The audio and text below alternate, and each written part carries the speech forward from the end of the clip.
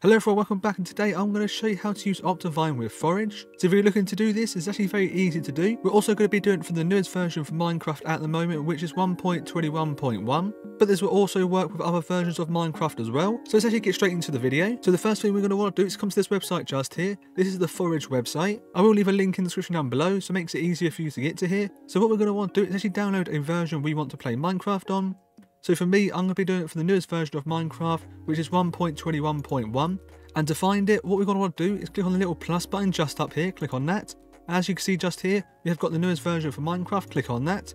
This page will load, and from here, we can actually just click on the installer just here. So just click on this just here, and this will download uh, Forge for us after about 5 seconds. So just wait up here and you see these seconds are going down, and just click on skip just here. Make sure you just click on skip, do not click anything else in here, just click on skip and in here we will start downloading straight away. So next we're going to want Optifine, so I will leave a link in the description down below to this website as well. So from here what we're going to want to do is click on the preview versions and download the latest one. So this one here is the latest one just now.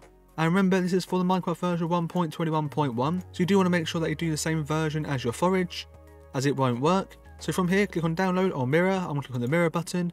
Then from here click on download just here, click on that and that will start downloading as well for us. While that is downloading, if you want to get yourself a Minecraft server to play with your friends, be sure to check out Apex Hosting. There's some really good high quality servers. You can play default Minecraft or you can play with mod packs or even plugins.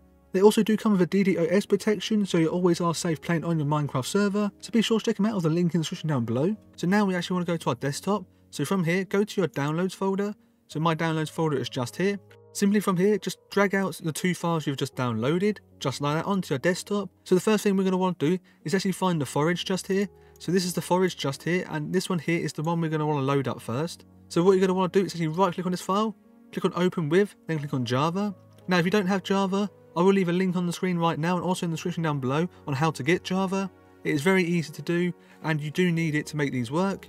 So be sure to check out that video if you have not got Java. But if you have got Java, just click on this one just here this will load a little file up just like this one. From here, what we're going to want to do is click on just OK just here, click on that, and now this will install. Now this shouldn't take too long, depending on your computer specs, but yeah, it shouldn't take too long at all. So as you can see, mine has now installed, that took about 30 seconds or so. Click on OK, now that will go away. You can get rid of this file here, you don't need this one no more, so get rid of that one. And now from this one here, what we're going to want to do is load up our Minecraft launcher, now once you've loaded up your Minecraft launcher, automatically you should see Forge down here. Now if you don't see Forge down here, don't worry, what we're going to want to do is come to installations up here.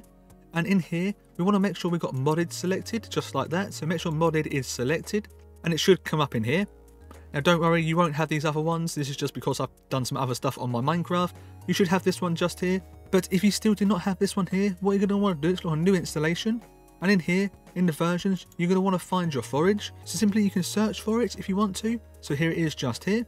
Click on that. So it's in this little versions box here. You can give it a name if you want to. Also you can give it a logo. And down here you can click on create.